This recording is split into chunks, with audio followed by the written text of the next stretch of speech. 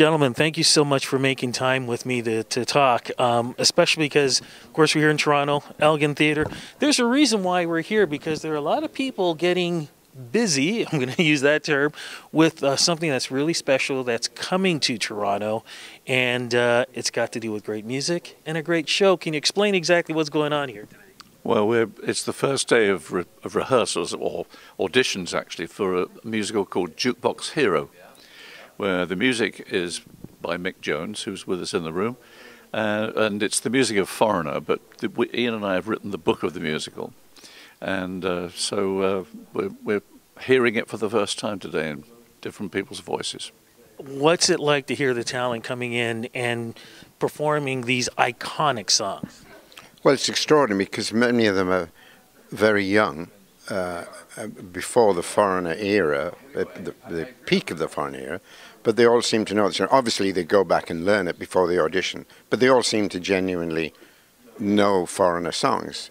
Many people forget for a moment, and when you when you say, remind them of the music that foreigner have written, everyone goes, "Oh God, yeah," because uh, there's so many hits, enormous amount of hits.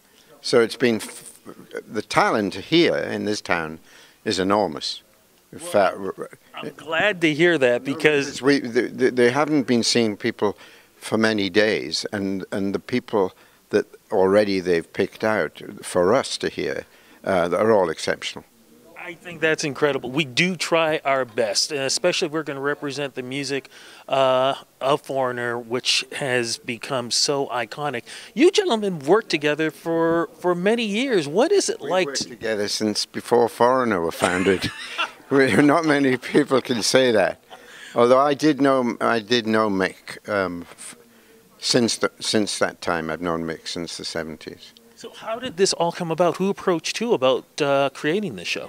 We've been trying to remember that. I mean, it. it I, I used to live two doors away from Mick's manager, and Ian's known Mick a long time. So you know, somehow or other, it all came together. But I can't remember exactly who. who well, do you remember? Yeah, well, I think it was because suddenly the last few years there's been a lot of interest in exploiting artist catalogues, which have led to theatre, which in the old days there was rock and roll and there was theatre, and now the two are getting more linked together.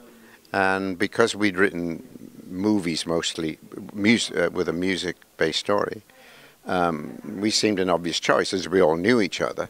And the idea came up. But we said we don't want to write a biopic. We don't want to write the foreigner story. We want to create, unlike some jukebox musicals, a real story with real characters and then make the songs work tell the story. I'm going to jump in because that's why I want to ask. How difficult is it to do something like that, to create a story with iconic songs that when we grow up listening to these songs, we have our own story to these songs?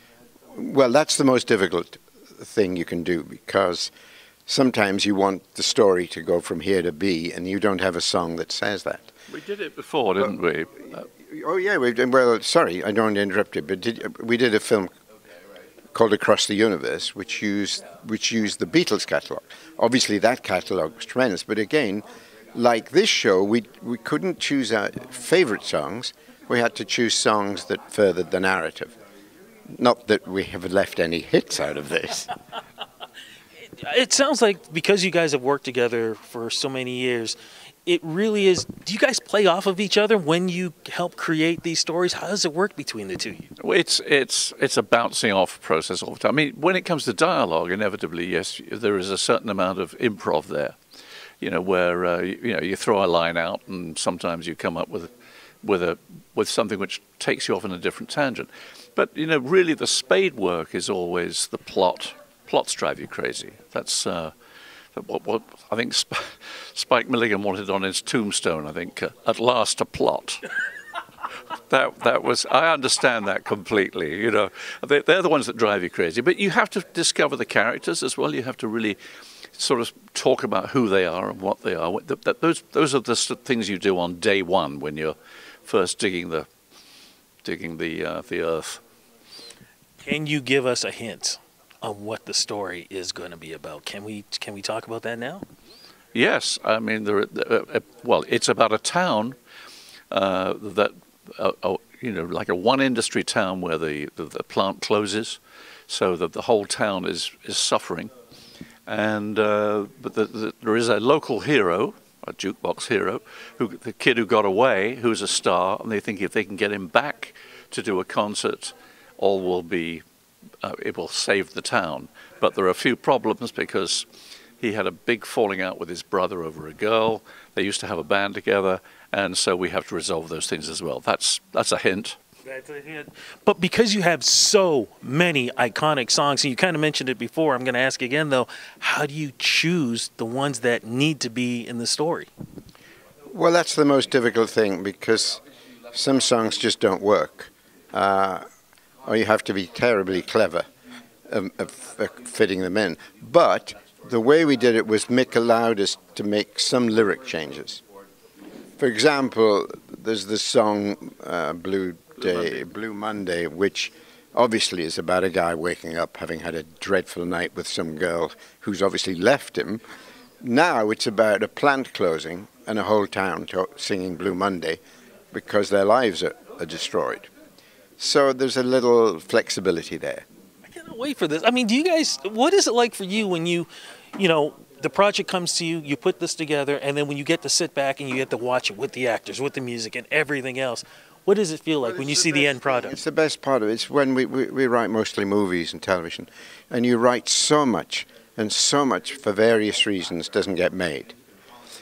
And the moments when you first are in a hall like this, with a cast, whether it's a film, whether it's drama, comedy, or musical, music's even more fun because there's music, it's just, um, it, it just gives you a sense of renewal. It, you suddenly think, this is why we do it. This is why we do it. We're with real actors, real singers, making the whole thing come to life. And you know what? And for somebody like myself who's in the audience, the thing I enjoy most, this is the kind of theater you don't have to just sit there. You can get up and you can rock with the music too.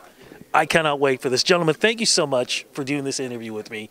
Cannot wait to see the show when it comes here in Toronto. Thank you so much. We can't wait either. No, and thank can't. you, Toronto, for all, for all the talent. Thank you again.